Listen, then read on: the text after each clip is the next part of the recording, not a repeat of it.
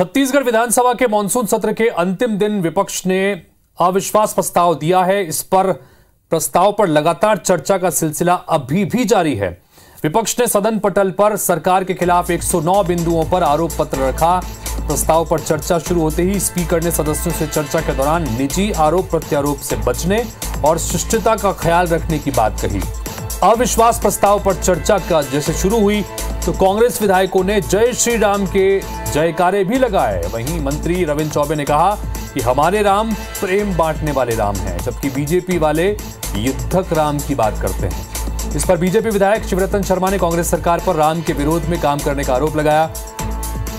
नेता प्रतिपक्ष नारायण चंदेल ने कहा कि भूपेश सरकार को पौने पाँच साल बीत गए, जितने झूठे वादे उन्होंने किए, उसे उजागर करने का सबसे बड़ा अस्त्र अविश्वास प्रस्ताव है। तो deputy CM T S Singh Deo ने कहा कि वरिष्ठ सदस्य अशोभनीय भाषा का प्रयोग करेंगे, उम्मीद नहीं थी।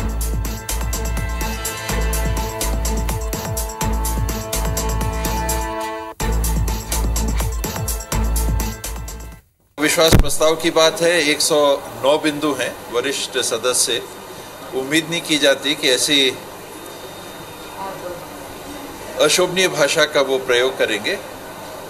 सदन में इस प्रकार की चर्चा हो, ये अत्यंत दुर्भाग्यपूर्ण है। अविश्वास प्रस्ताव का आशय यह है, सरकार ने इस साढ़े चार साल, पौने पाँच साल में जितना करप्शन किया है, जितना घोटाला किया है, आम आदमी के साथ में जो अन्याय हुआ है, अत्याचार हुआ है अविश्वास प्रस्ताव, उसका प्रतिबिंब है। भारतीय जनता पार्टी पास कोई मुद्दा नहीं। बिना मुद्दा का सरकार है पार्टी है। पिछले पंद्रह साल में छत्तीसगढ़ में क्या क्या काम हुआ? ये कांडे कांड किए हैं पंद्रह साल में। अभी बोलते हैं कोई विजन नहीं।